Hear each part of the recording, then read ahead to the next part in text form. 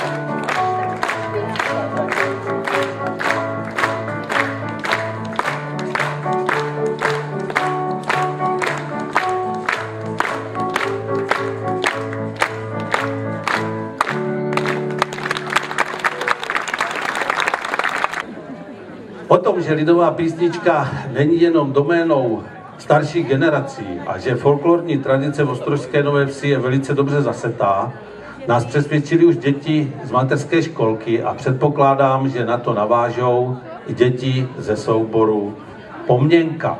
Soubor funguje od roku 2007 a vedoucími souboru jsou Michalka Jurásková a Jaroslava Bedřichová. Soubor Poměnka je součástí folklorního spolku Novovešťan. Mimo to máme ještě soubor Včelínek, kde jsou ještě menší děti, no a samozřejmě pak to pokračuje přes hodovou chasu až po pěvecké sbory, jak mužské, tak ženské.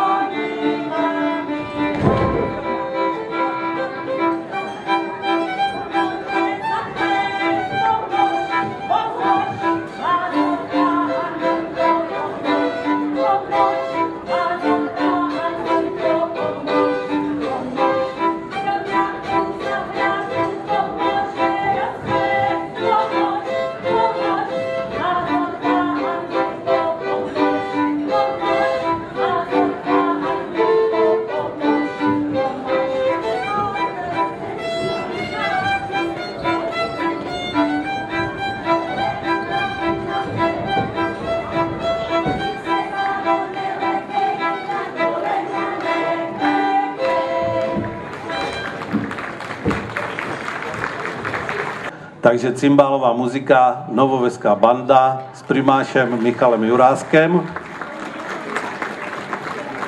Tož muziko, hraj.